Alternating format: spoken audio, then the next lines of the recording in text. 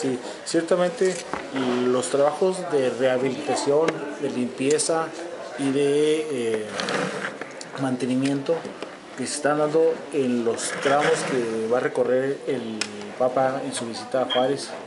Hemos visto una actividad muy intensa eh, de servicios públicos, de obras públicas, de limpia, de alumbrado, para rehabilitar y tener en buenas condiciones esas vialidades. E, ese trabajo lo está haciendo el municipio sin ningún ingreso, ingreso extra del que ya está presupuestado. Ese servicio de mantenimiento y de la buena presentación de las vialidades eh, es el que el municipio tiene la obligación de prestar a toda la ciudad durante todo el año.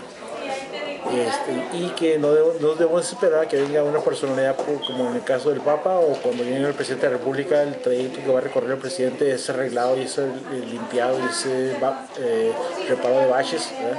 Este, es el trabajo normal del municipio que debe de prestar en forma ordinaria a toda la ciudad.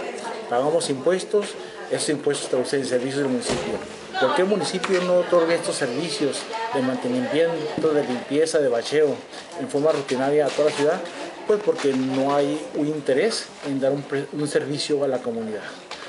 hacen lo, que, lo menos que pueden y cuando les da la gana hacerlo. Y no en forma rutinaria, programada, este, ordenada, este, como lo están haciendo ahorita en la ruta que va a, el trayecto de la visita del Papa.